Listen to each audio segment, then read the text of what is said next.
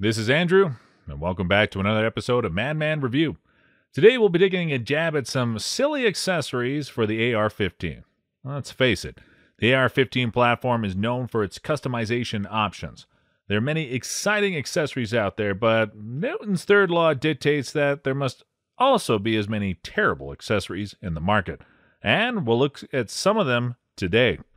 So, what are my criteria? It must be seriously advertised as an accessory for AR 15s. It needs to be inefficient, dangerous, and pretty much useless. Unfortunately, there will be no links to these products in the description this time because you should not waste your money on these things. So, with that out of the way, let's have a laugh, shall we? The Red Dot Magnifier. The truth is that whoever bought this also bought a wrong sight. You're better off getting a magnified optic with variable zoom levels if you want to change the magnification level on the fly. The magnifier is a bad idea for a number of reasons. For one, it does not work as well as a real magnified optic. Also, it's extra weight and looks clunky. You'll get all the wrong kinds of attention if you bring a red dot magnifier with you to the gun range. Multi tool. Some manufacturers thought that it would be a good idea to slap a Swiss Army knife in the grip. Yes, there's a hole there, but that does not mean it makes sense to stuff things inside it. It's extra weight, and you're not going to need a screwdriver in a firefight. If you need a Swiss Army knife, get one and store it separately. Bayonet. Bayonets are pretty cool. Not so cool when your platoon leader shouts, affix bayonets, and you know what you're charging a machine gun nest, or going up and over the trench in the First World War. Other than that, there's just that visceral fun with bayonets, and anyone with a bayo lug would slap a bayonet on at least once just for fun. Most bayonets are mounted on the underside of the barrel, though some are mounted on the side. So, what's wrong with a bayonet? It's a tube that's mounted to your rail system with an out the front design. Think of it as an automatic knife. The tube is about 14 inches long, so here goes all your rail space for any other accessories. The spring loaded spike will shank your target at close range. Problem here is that if you have a long tube or your AR 15, you might as well get an underbarrel grenade launcher. Moreover, OTF knives are not that strong, and if you want to skewer something or someone, you need a fixed blade that is much more durable. Moreover, bayonets should be easy to slap onto your gun. It takes a couple of seconds to mount a bayonet to your gun. Bayonet is attached to a rail, and you need an Allen key to remove it, which is just another hassle. Also, bayonets are more than just to skewer people, you can use it as a knife a valuable survival tool. You can't do that with the bayonet. The AR 15 Grip Armor. Some accessories make the gun look a little cooler, and some movies attempted to bring some coolness to the screen. That's fine and dandy, but to sell one as a serious accessory is just silly. Their idea is that you would have the same index point whenever you index your hands backward.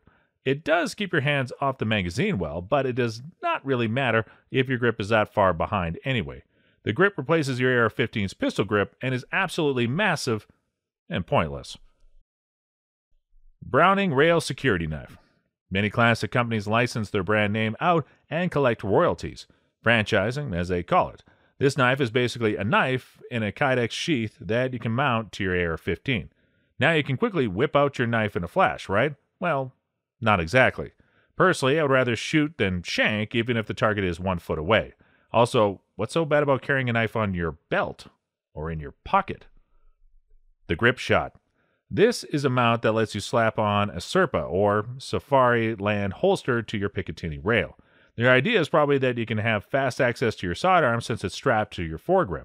Whipping out your gun with your belt should only take a fraction of a second longer than from your foregrip anyway, which does not make that much of a difference. Also, the bad guy can slap the barrel of your AR 15 down and grab the extra pistol you have within arm's reach, and suddenly, you're in trouble. That's to say nothing about throwing off the balance of your rifle.